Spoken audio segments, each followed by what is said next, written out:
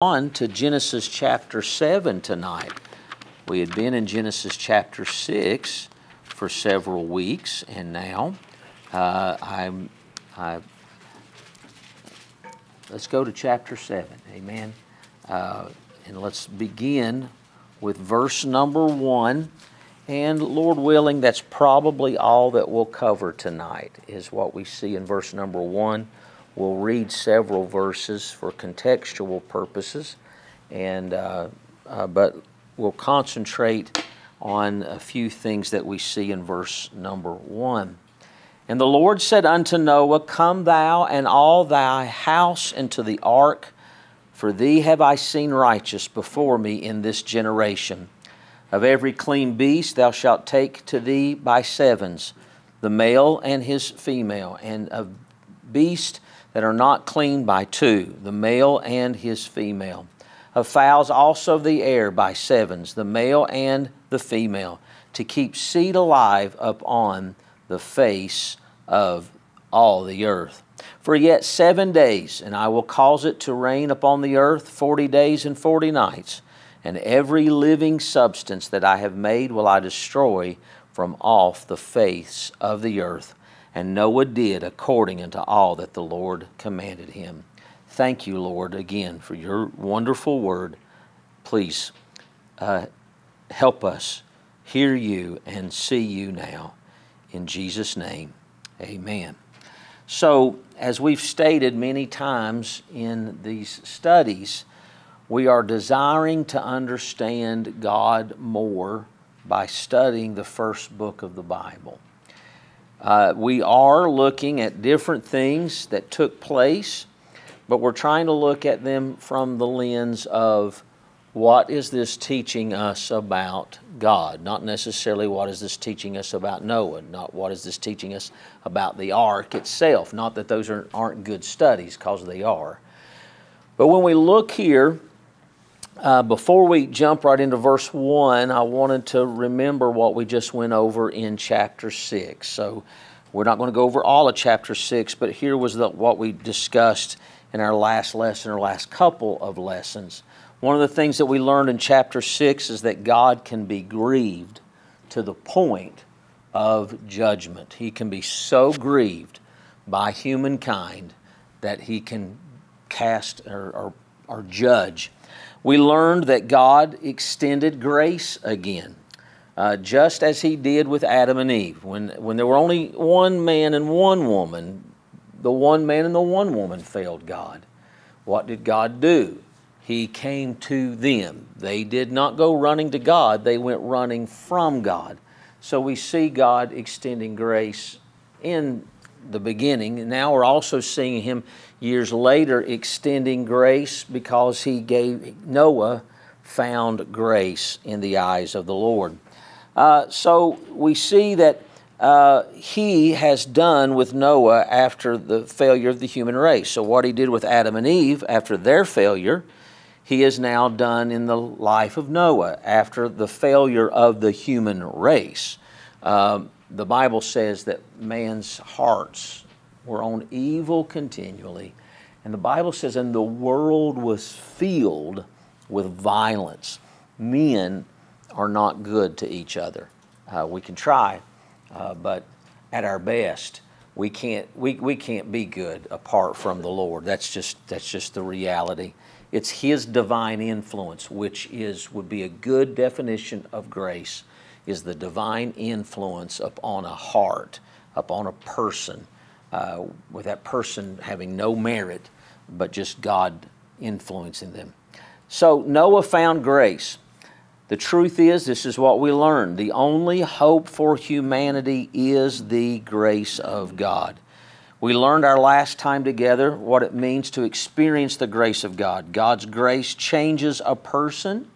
God's grace can bring household salvation. God's grace causes a person to hear God. God's grace brings a person into the purposes of God, and God's grace ensures instruction, equipping, and enablement for all that God has for a person's life.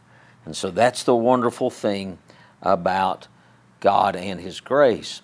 So now in verse number one, and the Lord said unto Noah, Come thou and all thy household into the ark, for thee have I seen righteous before me in this generation. So, uh, Lord, help us to understand this verse. It is important to note that God was watching how Noah was affected by finding grace. In chapter 6, as we've read in the past, in chapter 6, we see that God saw the wickedness of man. God saw the wickedness of man. But here's what God also sees God also sees the effects of His grace. God sees, look at what it says Noah, come thou and thy house into the ark, for thee have I seen righteous. Okay, you still with me? So, but we need to pay attention to how this is worded. I am not, and I think it's obvious, I am not a Hebrew scholar. Uh, I don't. I had a man who ordained me read Hebrew and Greek and could probably have and, and spoke Hebrew and Greek and probably could have teach, taught, teach. See, I can't even speak English. It even taught in Hebrew and Greek. I'm not. I'm not a Hebrew or Greek scholar. Okay. So, but when when I'm looking, here's what I'm seeing that the Bible, sometimes what the Bible doesn't say is as important as what the Bible does say. Okay? Now look at what it says. For thee have I seen righteous. I have seen righteous. It's not that I have seen your righteousness. See, that's different. I have seen, for thee have I seen righteous. Now, this is really important, and I hope that you'll grab a hold of this because this, this maybe this will help you. How does God now see Noah? It's not talking about, I have seen your righteousness or I've not seen your righteousnesses. He's now saying, I see, I have seen you righteous. There is the reality of how when we are when we come into the grace of God, how now God sees us. How did he see us before and how does he see us now? He sees us righteous. Now, here's what you and I need to comprehend, and hopefully this will help you. He is not seeing your righteousness. Okay? If we are dependent upon our righteousness, Here's what the scripture says about all all of our righteousnesses are as filthy rags. So even when I, and this is, and forgive me, I'm getting ready to use a personal example again. But I, when, when I was younger, I, I have a personality trait that compels me to feel guilt most of the time. I've, I'm if you if you're asking who's the most guilty person in the room, me. That's me. I'm the guilty one here. And so I I even to the point where the idea of that I did something wrong, I would tail on myself all the time. I would go to my mother and say, I've done this, I did this, I've done this, I've done this. I was the guy that when people were getting ready to do something wrong, I'd say, No, we're not going to do that. That's going too far. We're just not going to do that. And but that didn't make me a Christian. You see, this personality trait. I just have this personality trait.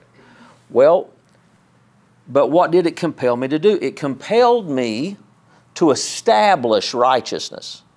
Now, how was I going to establish? Because I grew up in a Christian house. Now, I don't know how it would have been had I grown up in a Christian home. I probably still would have been who God made me in that sense. But I don't know how I'd been, but I happened to grow up in a, a I, I grew up, as my sister would say, you didn't just grow up in a Christian house, you grew up in Johnny Grinstead's house, okay? So Johnny Grinstead was a man, black and white, bottom line, there is no gray, you know, that's just the way it was. And so there was this sense of that, that, that, righteousness existed and I wanted it. And so, how was I going to obtain it? And I obtained it in my mind and in my heart on my own. I did it based upon my behaviors and the things that I was doing that was right and the things that I refused to do that were wrong. Okay? It was based upon me doing right or me doing wrong. So when I would do wrong, I would confess. When I would do right, I was righteous. Now, that sounds almost like Christianity, but it's not. Okay? That's religion, that's self righteousness. As you've heard me say before, it compelled me, this desire compelled me to read my Bible a lot. So when I was a kid, I read the Bible a lot. I read, I read five, a minimum of five chapters a day. I started in the sixth or seventh grade, and I would read five chapters of the Bible every day, and fasted and prayed every Saturday. I didn't eat on Saturdays. That was my day. I fasted and I prayed. I lived in the mountains. You know what I did? I'd climb to the top of those mountains. And if you had been up there with me, you would have heard me begging for forgiveness from God. I would cry out to God because I wanted to be right with God. But all of that was based up on my own righteousnesses. And when, when you're in that realm and when you're and almost when you're in a when you're in a world where performance is praised as righteousness, it's real easy to get caught up in a performance-based relationship with an almighty God who knows everything. Now the wonderful thing about God is he still loved me even though I was trying to establish my own righteousness. If you'd asked me, Have you asked Jesus to save you? I would have said yes, because I can't tell you how many times I asked Jesus to save me over the course of my life, okay? I, I can't tell you how many times, all right? But there, there became a time when there is the reality of you're no longer trusting yourself for righteousness but you are trusting Jesus for His righteousness. And it's because of the, the grace of God, okay? The grace of God will do something that, that nothing else will do. The grace of God will accomplish what the wrath of man will not. Now, I was afraid of the wrath of God, which, the, you know, to fear the Lord is the beginning of wisdom, okay?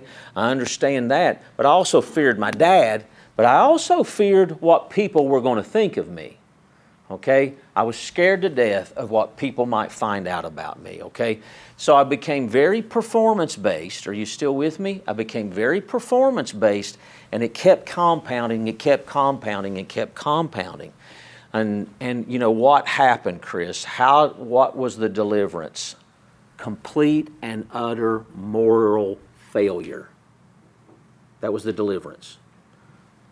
Moral failure. I sinned. I'd been sinning the whole time. Okay? I was a sinner, but moral failure. What? Yes, moral failure led me to understand I need, so you gotta, you gotta be a sinner to get saved it plain the, Jesus plainly says is that he's come to he come to call the unrighteous. The righteous don't need the the whale don't need a physician, right? So people that are self-righteous, they they never need the righteousness. You say, well, what's it got to do with this verse? Well, when you look at this, how does God see us? He says, I seen, for thee have I seen righteous. In other words, Noah, I see you righteous. Why? Because he's experienced the grace of God. What is the separation between Noah and these other human beings? Okay, if it was if it was good works, does it mean that there was absolutely nobody on the planet at that time doing good but Noah? I think that it's, I think it's fairly clear that Noah began to do good because he found grace in the eyes of the Lord. He found grace in the eyes of the Lord. So, uh, it, it, does not say that God sees the righteousness of Noah. This is one of the things that we must understand about God. Was Noah inherently righteous? No.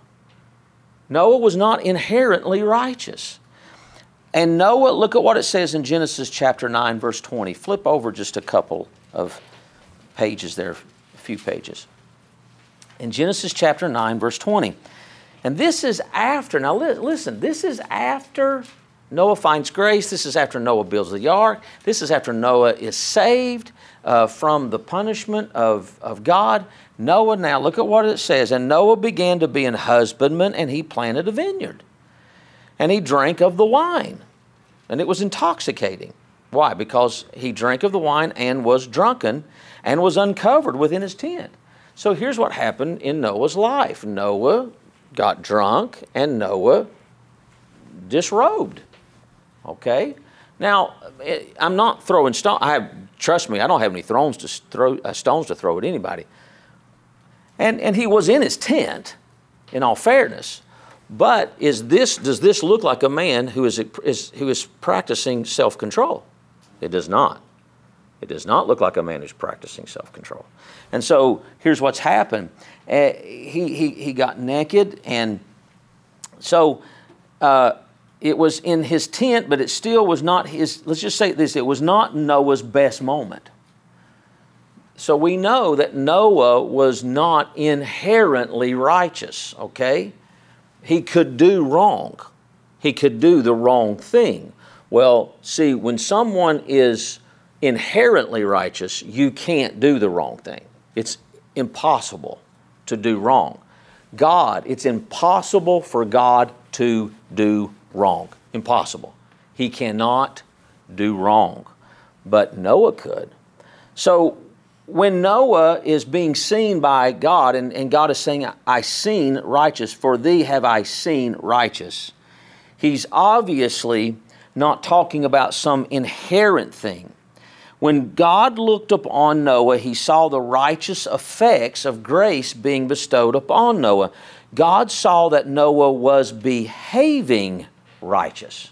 And so when you look in this, this to this word righteous, it, it genuinely means uh, basically behaving to the law, adhering, obeying is basically what it means. And so he says, I see you obeying. And Noah uh, reacted with faith. And see, it, it, it is his faith that produced the works of obedience. Why did Noah build the ark?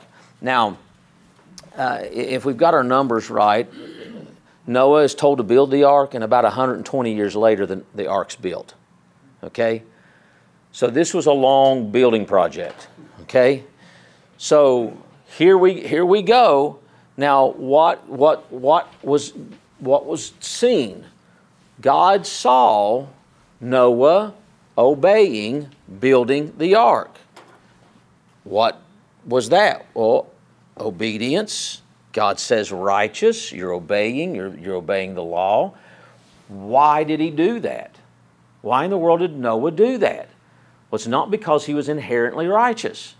He did it by faith. He heard God and he followed God. He did what God told him to do. So when we consider this, let's look at a New Testament verse. In James chapter 2, verse 23. James chapter 2, verse 23 says this And the scripture was fulfilled which saith, Abraham believed God, and it was imputed unto him for righteousness, and he was called the friend of God. Okay? So we have this word, it is a doctrinal word in the New Testament. It's the word imputed. This is the doctrine of imputation. The doctrine of imputation. What does that word imputed mean? Some of you already know, uh, and maybe all of you already know. But the word imputed means to put on someone's account. It's an accounting term, okay? It's like, as you've heard it explained probably, on Abraham's account. Now, this, we have shifted to Abraham, okay? But until this moment in Abraham's life, you know what Abraham was? Abraham was like his family. He was an idolater. Abraham was not believing in the one true God. Genesis chapter 12 tells us we are introduced to this man by the name of Abraham, and Abraham was surrounded by idolaters. So, being surrounded by idolaters, odds are, if Abraham was going to worship a God, it was not the God of Abraham, Isaac, and Jacob, okay? It was going to be a false God. But what happens? The one true God, by grace, called Abraham and said, Leave your family, leave this country, and I will show you a country that I'm going to give you and your seed, your, your lineage. And at that time, Abraham didn't have any children. Okay?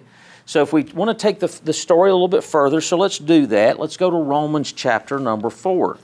This is a New Testament passage as well, and it's referencing Abraham. So, Romans chapter 4, and I'm really am, I guess, maybe at, at risk of rushing through something. Um, in, in Romans chapter 4, Let's just go through this and let's take our time, okay? Now, Romans is, is written by a Hebrew, the Apostle Paul, and he is re- reading or writing, excuse me, and trying to teach on, in this particular moment especially, on justification. Now, justification is another doctrinal word. Justification is the doctrine, it is the New Testament doctrine that teaches this that people can be right and people can be right with God. Okay? We can be right with God. That's the simplest way for me to say what justification means. Now, if you break it down, justice, just, justice. So, this is a legal term. So now we've got a an accounting term operating with a legal term. If you are standing in front of a judge and you are let go, you are found not guilty. Okay? Justice was served and you were found not guilty. Well, justice can also be served when a person is found guilty. Does this make sense? And so now here we're dealing with someone, Paul is teaching about justification. So, what shall we say then that Abraham our father, as pertaining to the flesh, hath found? For if Abraham were justified by works, he have whereof to glory, but not before God. For what saith the Scripture? Abraham believed God, and it was counted, an accounting term, unto him for righteousness. So it seems as though righteousness and justified are working together here. Now, to him that worketh is the reward not reckoned, another accounting term, of grace, but of debt, another accounting term. But to him that worketh not, but believeth on him that justifieth, believeth on him that justifieth the ungodly, his faith is counted for righteousness. Now, in these first five verses, the Apostle Paul is letting us know. Remember, James told us, told us that something was imputed to Abraham. The Apostle Paul is reiterating also what James is saying. So, this is a teaching that has been in the church since its inception. And they both go back and reference what would be known as the patriarch of faith. If you were a kid, maybe you grew up in Sunday school, Father Abraham had many sons. Why do we call him Father Abraham? Because he is the father of faith. He heard God. God called him out of idolatry to go to a place, and God, there wasn't an image to be built. There was nothing. It was just a relationship between a man and God.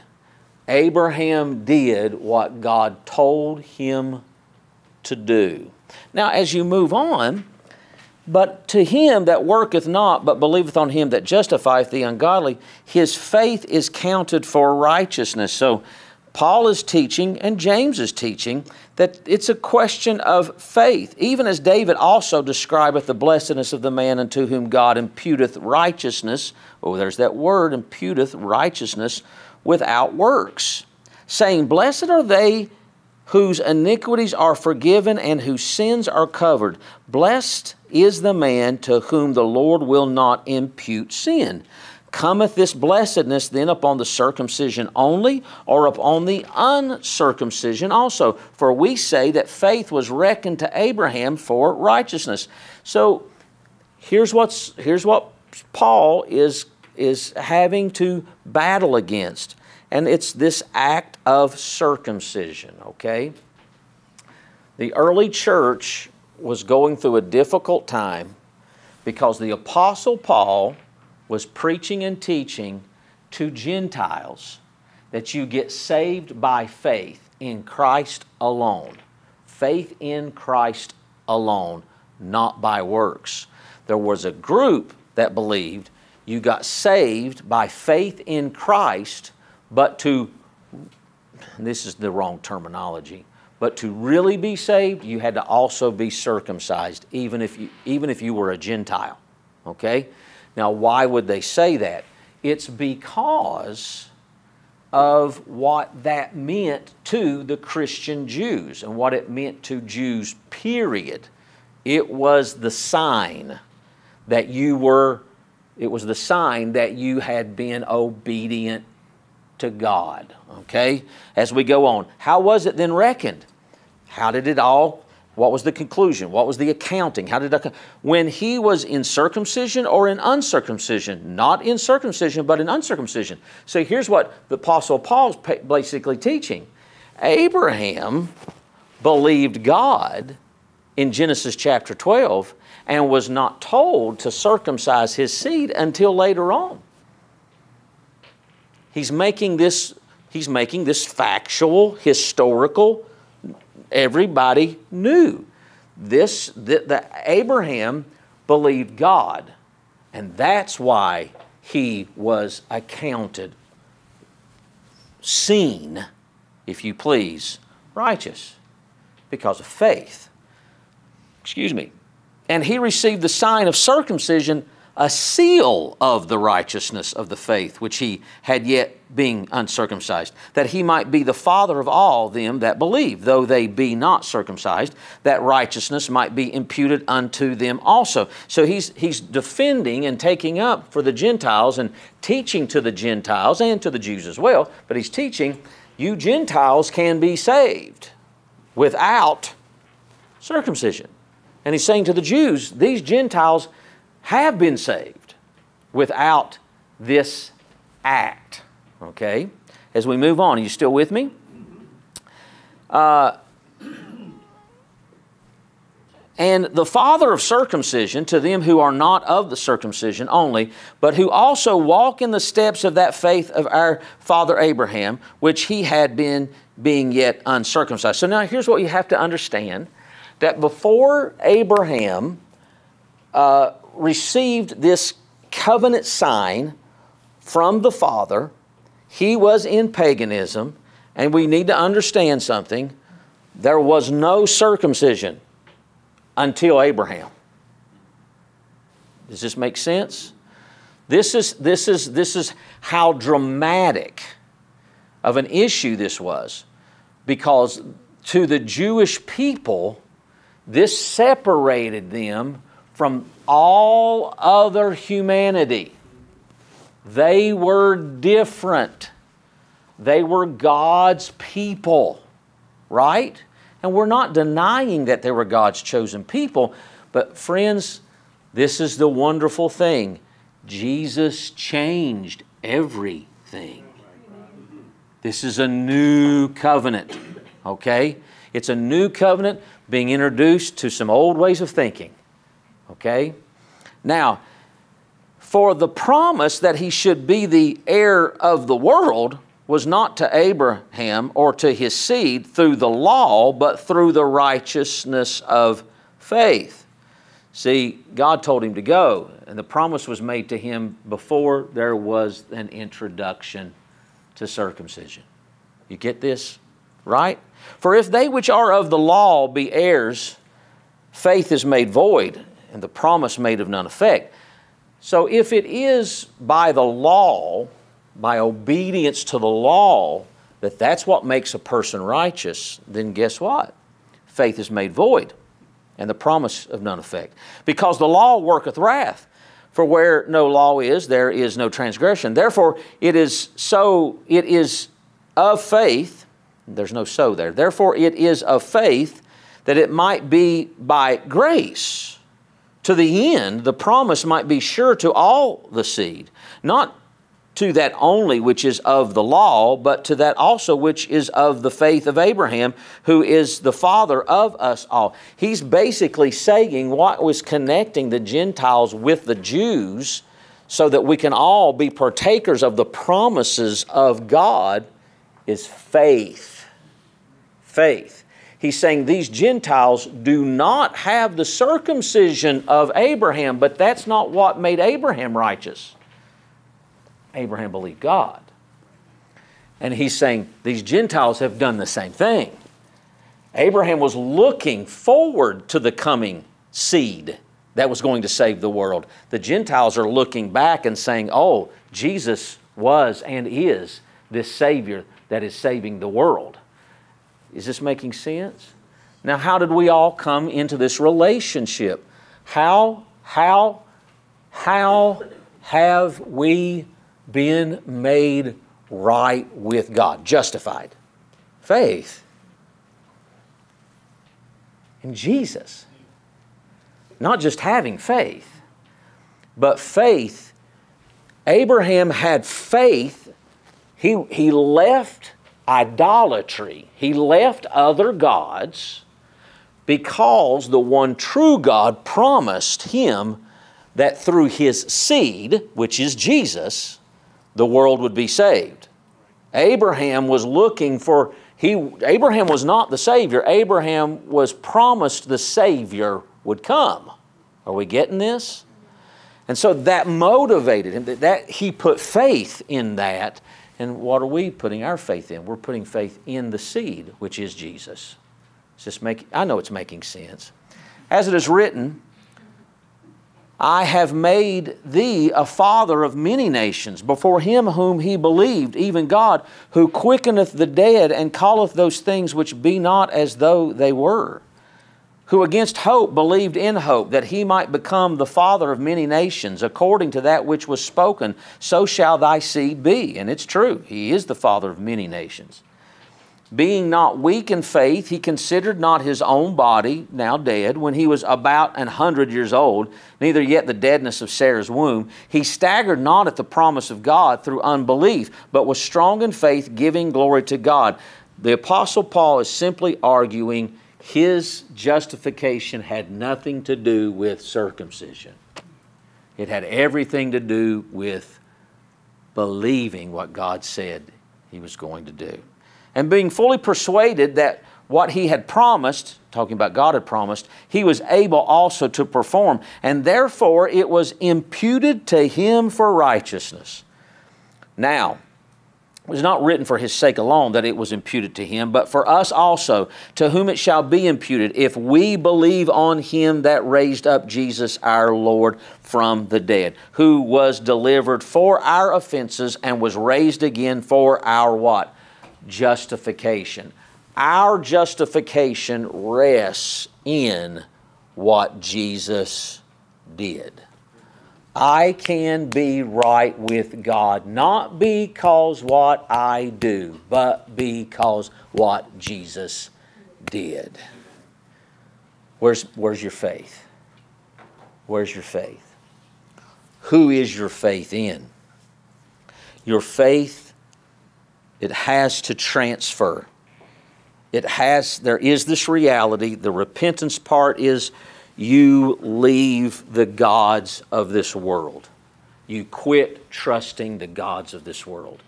And you trust Jesus. You leave your self righteousness and you admit it's filthy rags and you ask Jesus to make you righteous. You trust in Jesus. Everybody okay? Now, and here's the thing God then sees us righteous. God saw Noah righteous. Why? Because he believed God's word. He believed God's word. After, listen, experiencing the grace of God. So then this question arises. How in oh how in the world can a person get enough faith? And and if you've got issues, you'll struggle with that. Friend, it's by the grace of God. It's the grace of God. You can't, it's not that you muster up the faith, it's the grace of God. You're given the faith. You, you're trying to tell me, preacher, that it's this simple that if I believe that Jesus died on the cross for my sins and that God resurrected him from the dead for my justification, it's that simple. It's that simple. And that makes it difficult for some people. It's, I have struggled and struggled and struggled with misplaced faith. And it's caused me trouble. But when I when I get my head, when I get everything get squared away, and I, uh, wait a minute, I am I who am I trusting? Oh well, I can't trust me. I'm trusting you, Jesus. And then, if you would, uh, let's go down uh, to John, or not down, but jump over to John chapter 6. I've, I've taken up most of my time. I'm going to skip a point and move down. So, this next point is simply this God saves all who come by faith. Look at what he says back there in, in Genesis, Genesis chapter 7. He says, um, I'll read it to you so you can stay there in John. Genesis chapter 7 And the Lord said unto Noah, Come thou and all thy house into the ark. And if you go on down to Genesis chapter 7, I think it's verse number 13. In the selfsame day entered Noah and Shem and Ham and Japheth, the sons of Noah, and Noah's wife, and the three wives of his sons with them into the ark. You know what they did? They just walked into the ark. That's all they did. You, truth be known, you can't really find where they actually built the ark. It says Noah built the ark. I'm not going to get in an argument over that. Good chances they helped him, okay? Uh, but I'm just saying, where do you see the faith of Noah's family? They walked into the ark. Is it? They didn't do any, no, they walked into the ark. When God said it's time to get in the ark, okay, let's get in the ark. That's faith. When we look at this, John 6 35, and Jesus said unto them, I am the bread of life. He that cometh to me shall never hunger and he that believeth on me shall never thirst.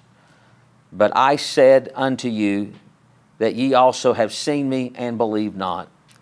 All that the Father giveth me shall come to me, and him that cometh to me I will in, look at this, he that cometh to me I will in no wise cast out. For I came down from heaven, not to do mine own will, but the will of him that sent me. And this is the Father's will which hath sent me that of all which he hath given me I should lose nothing, but should raise it up again at the last day. And this is the will of him that sent me, that every one which seeth the Son and believeth on him may have everlasting life, and I will raise him up at the last day. By faith they walked into the ark. Jesus makes this statement and this is the will of him that sent me, that every one which seeth the Son, that seeth, the S O N, not the S U N, the Son. He says, All that which seeth the Son and believeth on him may have everlasting life. Now, go with me now to Numbers chapter 21. It may have been easier to flip back to John chapter 3, so flip back to John chapter 3. And we'll read verse 14, John chapter 3, then we'll go to Numbers 21.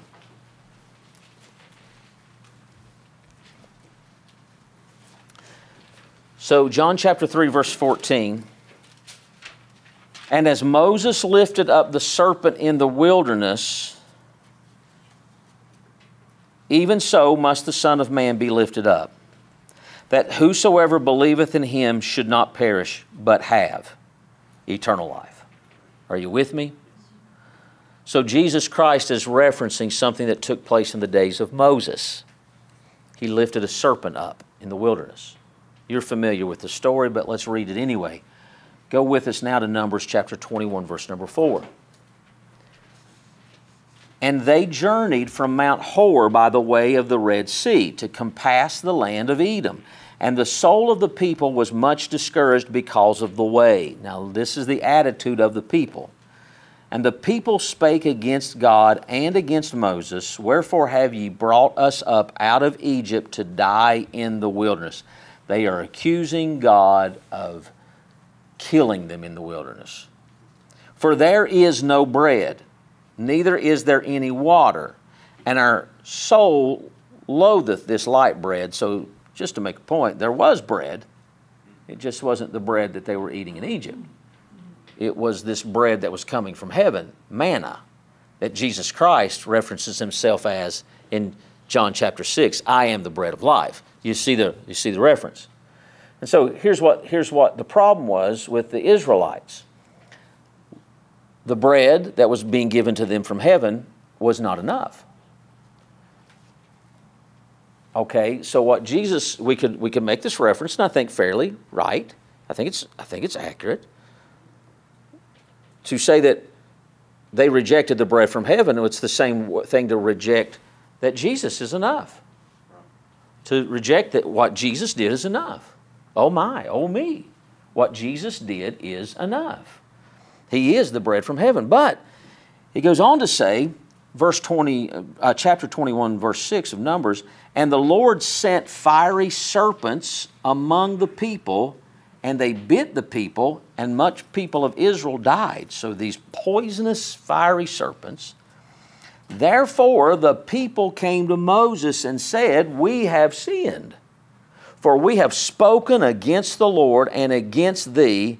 Pray unto the Lord that he take away the serpents from us. And Moses prayed for the people. And the Lord said unto Moses, Make thee a fiery serpent, and set it upon a pole, and it shall come to pass that every one that is bitten, when he looketh upon it, the serpent on the pole, shall live. And Moses made a serpent of brass and put it upon a pole, and it came to pass that if a serpent had bitten any man, when he beheld the serpent of brass, he lived. Now, here's some things I want us to understand, or I think the Lord wants us to understand. One, they said, Pray to God that He would remove the serpents, and God did not remove the serpents. That is not what happens in the story. God did not remove the serpents. God provided salvation from the serpent's bite. Okay? Oh God, would you just please remove sin from, from the world? It hasn't happened. Sinners still sin, right? The, the bite is still very real. But how were the children of Moses, or excuse me, the children of Israel saved? They simply, this is it, that was all they had to do. They just had to put their eyes on the serpent on the cross. The very thing that was killing them was hung on a pole. You get it? What did Jesus Christ do on the cross? Jesus Christ became sin. He who knew no sin became sin for us that we might be made the righteousness of God through Him. Is this making, is, are we getting this? So when Jesus Christ, so okay, and Jesus Christ says this. Is it, this is Jesus talking to Nicodemus. He's making reference to this episode in Numbers chapter 21, and he is saying, This is as it is. You get it? Look at what it says. I'll go back to John 3 14. And as Moses lifted up the serpent in the wilderness, even so must the Son of Man be lifted up. Jesus, referencing himself as the Son of Man, is saying, I am going to have to be lifted up just like that serpent was. And Nicodemus knew what that meant. Okay?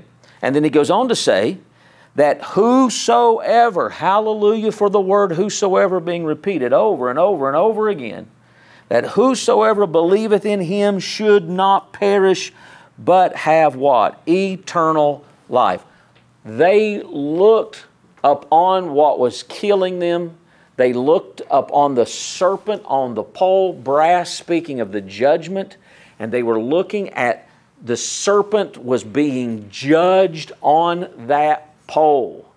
And they all they had to do was look at it, and they were saved. You know what? You know what you need to do?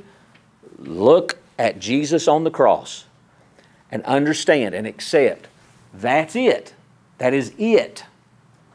You say, that is it and plus. No, that is it. Jesus Christ became sin. He became sin. Like the, like the serpent was on the pole. Sin. What sin? The sins of the world. The sins of the world. And anybody who will believe that Jesus took on the sins of the world, which means your sin, if you believe that, you'll have eternal life. That's it. Faith, what? In what Jesus did. And I know we've been hearing this, but I also know Satan comes in the middle of the night and disrupts it. Here's what Satan does he reminds you of your sin. And what we have to do is remind him whosoever shall call upon the name of the Lord shall be saved. Satan will try to get you to think, well, you got to go back in your life and confess everything you've ever done wrong. You can't remember it, and it'll turn into a rabbit hole. What you need to do, put your faith in Jesus. Put your faith in Jesus. Jesus says this. Look at verse number one still, uh, Genesis chapter 7. Let's go back to it. This will be our closing Lord willing, closing point for the night. Can we handle one more point? Yeah. So it's the sub points that wears out. Genesis 7. Look at what he says, verse number 1. And the Lord said unto Noah, Come, thou and all thy house into the ark. What does this mean? It means God was already in the ark. God didn't say, Go into the ark. God says, Noah, come. God was in the ark and saying, Come in. Here I am, come. Come to me. I'm in. We are called to come to God. We are not being pushed, we are not being treated. The Lord is our shepherd, not our butcher. You heard the expression, you heard the story that a man was watching a flock of sheep coming over a hill running, and there was a man behind them whacking them and, and yelling and doing all of this. And then there was another man just walking and would every now and then turn around and say a name, and the sheep were just following him. And the man observing says, What's the difference? And he says, Well, the man that's behind the sheep driving them, he's driving them as a butcher. He's, he's a butcher, he's not a shepherd. This is the shepherd. And the Lord is our shepherd, and He says, Come. God says, Come into the ark. Jesus said, Come unto me, all ye that labor and are heavy laden, and I will give you rest. The book, the last book of the Bible, ends with Revelation 22 16. I, Jesus, have sent mine angel to testify unto you these things in the churches. I am the root and the offspring of David and the bright and morning star. Verse number 17 continues and says, And the Spirit and the bride, meaning the church, say, Come. And let him that heareth say, Come. And let him that is th- athirst uh, come. And whosoever will, let him take the water of life freely. The Lord is saying, Come, come. And we would want to say, we would want to say, yeah, but I'm but I'm dirty. Well, the Lord would say, Well, that's what I do. I, I clean up people. We would say, But I'm a sinner. And he would say, I know, but this is what I do. I save people. Noah is called into the ark not because he has some inherent righteousness, but because he's experienced the grace of God and he's obeyed the voice of God. What is the first thing that you and I need to obey? It's the call to come. Amen. The call to come. Lord, thank you for your mercy and showing us who you are. Um, we we cannot do we, we we can't build our own salvation. It doesn't even it we it doesn't even cross our minds. Uh, what we have is you have preached to us the message of salvation. The ones that were alongside Jesus we have received their word and we accept this fact. We, we accept that in John chapter 17 that Jesus prayed for those of us that would come to Christ because of their word. Thank you for giving us the written Bible. And thank you for giving us your word. Thank you for your Son Jesus who died for our sins and who resurrected from the dead for our justification. Thank you that we can ask and receive salvation through him. We thank you for that, Father. In the wonderful name of Jesus, please seal this to our hearts for your glory and honor. In Jesus' name, amen.